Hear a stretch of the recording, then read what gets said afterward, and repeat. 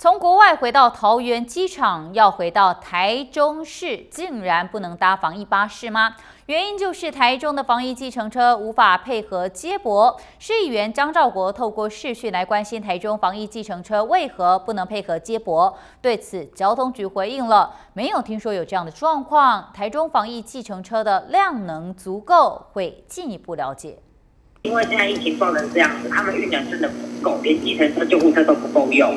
民众在桃园机场要预约防疫巴士，却发现不停靠台中市。还在隔离中的市议员江兆国透过视讯关心这环节到底哪里出了问题。网络上非常多的一些市民朋友，他从国外要回来台中的这些朋友，他都表示为什么独独台中市的防疫巴士没有办法停靠呢？我们现在市民的确诊人数、居隔人数非常多，需要由我们的防疫技能车来指引。那我们对于防疫巴士是否能够配合这件事情，要有一个明确的处理方向跟态度。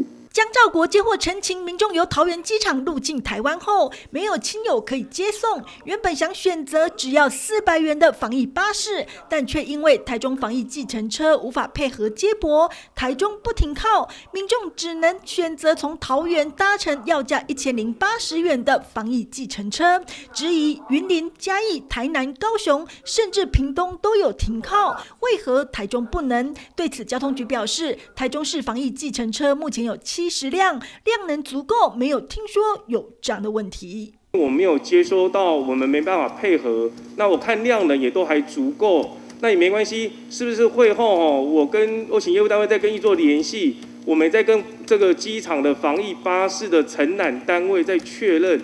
到底是什么样子的这个环节？对的，我知道，我知道你们当然是很。目前防疫政策放宽，亲友也可以在国外回国的民众，而有搭乘防疫计程车需求的市民，会先跟卫生局联系，再转派给防疫计程车队。没有接货量能不足的问题，会进一步跟桃园机场了解相关环节，提供市民再送服务。